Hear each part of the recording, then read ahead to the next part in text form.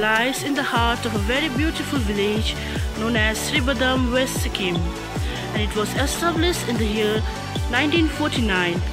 The school offers various courses like humanities, commerce, science and vocational.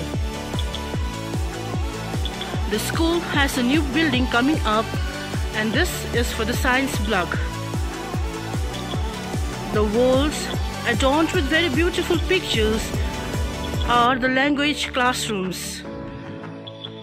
Apart from this, the school has a very huge auditorium.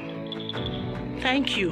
Hello, this is the view of Kebilimbu Government Senior Secondary School that lies in the beautiful village called Sribadam, Soreng district, Sikkim.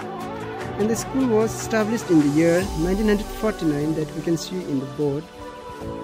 And the school also provides various courses like arts, science, commerce and vocational courses.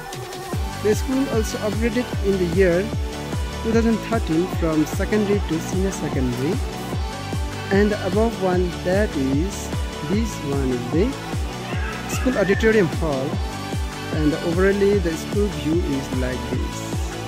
Thank you